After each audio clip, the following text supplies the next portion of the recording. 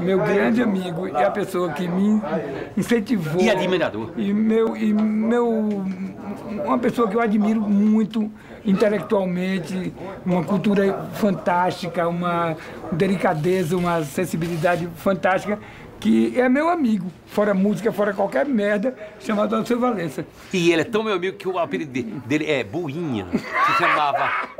Eu fiz até uma música pra ele, chamada Casinha de Buinha, na Europa. Casinha de A amizade da gente vem de long time ago. É, Long time uma vez eu vi um cara na 7 de setembro, com a cara de doido da porra passando. E disse, esse cara, que cara legal, quem será esse cara? Aí, de... sabia disso, eu já te história, né? Aí depois, aí depois, aí no Beco do Barato, encontrei Lula e conheci Lula, né, pô?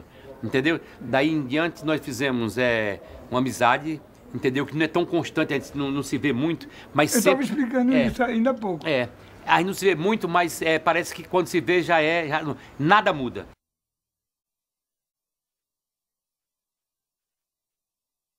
Era uma coisa meio hippie, já tinha passado o negócio do hippie, mas o Recife ainda era meio hippie. Ele é. Ainda continua sendo.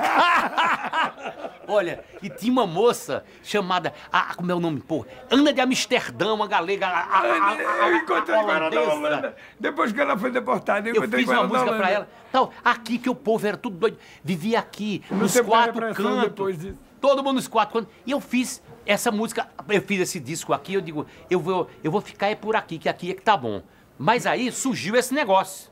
Quando surgiu essa história do Volando pra Catene, eu tava sem a banda que eu costuma, costumava tocar, que eu poderia tocar, porque eu tocava mais só mesmo. Aí eu digo, pô, vou fazer uma banda aqui. Primeiro cara que eu convidei, Lula.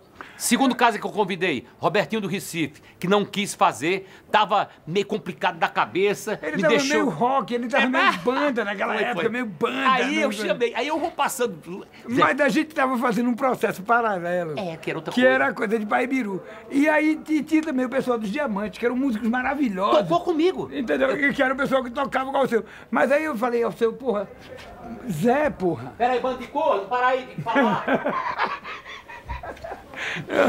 O negócio é simples. Aqui tudo Sim. se resolve com simplicidade. Vamos ver como é rápido. Veja, então, aí eu disse o, o, o, o, ao seu. Zé Ramalho tocou no discípulo de, de Marconi Notário. Foi. E é um violeiro fantástico. Por que, que a gente não vai juntando isso? Então, aí ao seu foi fazendo. Mas não, e aí eu encontrei quando você falou, no outro dia, a minha namorada, que era Ângela, entende, Botelho, é, quando eu chego lá, de repente surge um cara com um boné na cabeça, um negócio de assim, né? E com uma viola na mão. Sabe quem era? Aí tava namorando com um Glauce. O A irmã, era, a irmã, a Glauce era uma irmã de, de coisa. Aí Lula tinha me dito, história aí, quem é esse cara? Aí, pô, ele, É ele toca viola, disse, é, eu toco nos, nos Quatro Loucos, era uma banda de rock que ele tinha na... Os quatro loucos. Os quatro, os quatro loucos. Os quatro loucos, não era? Era, era exatamente. os quatro loucos. Pronto, aí chamei Zé. Já ficamos com as violas, que era mais importante. Aí, Zé. Aquele cara não quis, meu nome dele, Robertinho. Robertino que. Mas num dia eu encontrei um cara andando na rua, com uma cabeleira imensa, andando sozinho, eu- e de óculos, quando eu olhei. Sabe quem era? Paulinho Rafael. Paulinho vai, Aí- que até hoje é tudo. Toca comigo. É tudo. É, a alma da. Mas ele não tocava guitarra, nada assim disso. que nasceu isso. Isso é a verdade dessa história. E aquela Big Band, aquela Big Band danada. Isso que eu disse no começo, que aprendi muito, é essa metodologia da, a metodologia da loucura. E ele fumava um baseado ele- ele e ficava, às vezes, é, encostado numa porta, olhando, pessoal. E, olha. E tocava a cor, tu tocava com, com um palito, não era? Um palito hoje. de fósforo, entendeu? Até hoje, pedaços de bambu. Agora, Agora, aperfeiçoou. a coisa mais- Dentes de tubarão, eh, pedaços de bambu. eh, pedaços de hashi, de, É um de, de mesmo, sushi, né? é um são muito úteis para a nossa, Precisa nossa produção. própria roupa fazer é? Os seus senhores podem mandar essas doações para o telefone 222-6407. Eu nasci numa cidade chamada São Bento do Una. Cidade de São Bento do Una, eu escutei toda a música da minha terra. A- a- aquela música que tem de Luiz Gonzaga, mas quem antes fez o Luiz Gonzaga, quem antes, o povão. Luiz Gonzaga inspirou no povo, nas toadas, das cantigas de adjunto, são coisas que eu depois podia traduzir para vocês. E ouvindo o sanfoneiro pé de bode, que eles conhecem, sabe o que é isso aí, tal. Então, isso deu um alceu de, um- de uma maneira. O outro alceu é um alceu que veio para aqui, para o Recife, e conviveu. E Não, mas só, não, aqui ouviu o que? As músicas dos maracatus, dos bumba, de, do- dos frevos que passavam na, na minha rua, tá Na entendendo? ponta, na Agora, depois eu ouvi um pouco de rádio. E eu ouvi dois discos de rock, foram os únicos de Elvis Presley. Vou explicar por quê. Porque meu pai proibia ter som lá em casa, porque os irmãos dele que, que tinham ouvido, que, que tocavam violão, bebiam e não se formaram. Então lá em casa era proibido ter música. Então eu ouvi dois discos. King Creole e um outro que eu não sei qual é. Eu é, é, fui uma vez no estúdio da Rosenblit, que sabia que estavam gravando coisa, o Lula estava gravando lá com o Zé. Então fui para lá, fiquei na minha. Eu tinha feito, tá, tinha feito uma demo nesse estúdio. Era um estúdio estava desativado, A mas gente- tinha uma acústica maravilhosa. E a gente inventava, né? Levava um Inventava. monte Aí de eu bagulho chego lá.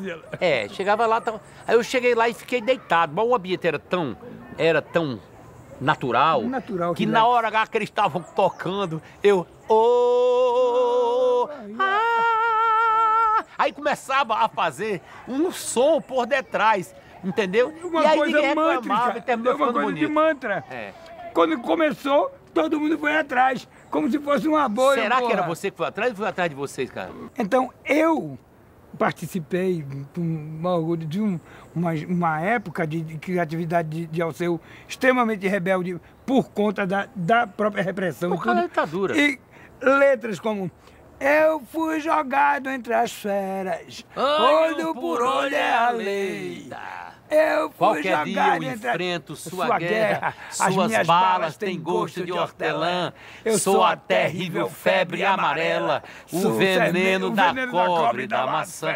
Claro que é. Entendeu? E, e eu tava com tricorde elétrico nessa época. Era. E, e era, isso era. Não era rock. Isso era além de rock. Era qual é? Isso era uma- um absurdo. Um, É quase um blues. Sabe? Agora é dizer um por blues, quê. sabe?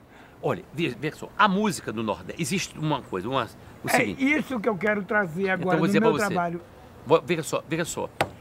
A Essa música do Nordeste, ela tem dentro da sua formação um elemento que se chama toada e cantiga de adjunto. Cantiga de adjunto é quando dois caras cantam, dois ou mais pessoas cantam junto no trabalho, entendeu? Tá aqui e tá cantando. Então as músicas do Luiz Gonzaga vieram aqui remete ao blues também. Juazeiro, Juazeiro, me responda por favor. Juazeiro, velho amigo. O cara canta aqui, ó. Me responda por favor. Aí lá. Ah, as mulheres. Juazeiro, ela ainda não voltou. Diz, Juazeiro, onde anda meu amor de cá? E se, Juazeiro, você, seja. e se você descer mais atuada, fica blue mesmo. Juazeiro, Juazeiro. É claro, você vai passar pra três. A diferença tá no A compasso. diferença está só no compasso. É. A- com- o conteúdo poético é que é pesado como é o conteúdo Só do que eu rock. acho que às vezes Porque a gente é fala muito isso não fala o contrário. Então, eu acho uma coisa, eu sempre gostei do rock, a postura do rock, da coisa. Mas olha só, eu nunca vejo citar o contrário. Eu fico assim invocado. Nunca. Não, eu nunca vejo assim, vem cá, tu, o teu lado Luiz Gonzaga, o teu lado das cantigas de ajuda, o teu lado blues. Por que fala? Porque ninguém conhece as coisas da gente aqui mesmo no Brasil.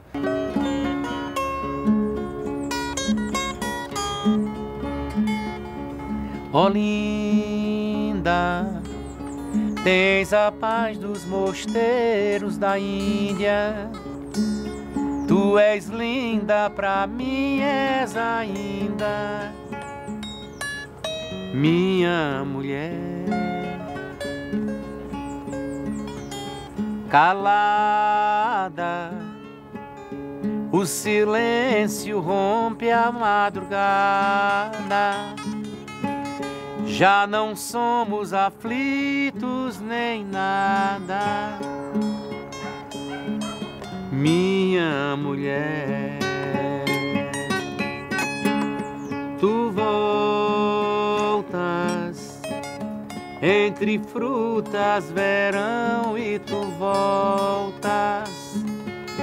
Abriremos janelas e portas minha mulher. Ah, ah, ah,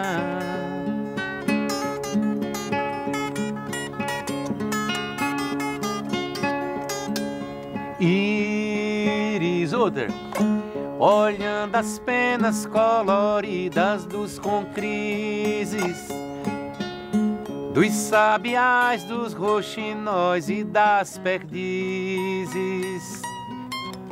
Lembrei de ti, ó linda íris, ó íris, quando vieres caçaremos arco-íris e borboletas só pra tu te distraires. E só me importa que eu delire, tu delires. Oh, oh, íris. Ah, ah, Lula.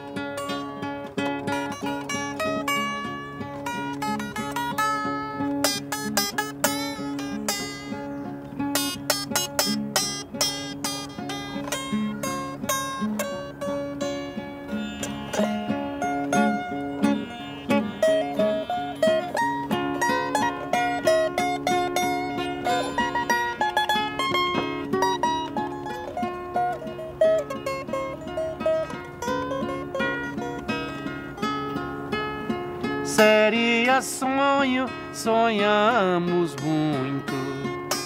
Comemos juntos sonhos de valsa. Seria cisne, seria garça. Magia branca, olhos do mal. Seria o eterno carnaval. Seria pouco seria medo, seria pouco ou demais segredo, seria trevas, seria luz. Por isso mesmo não tenhas medo dessa saudade que nos conduz. Vai, boinha!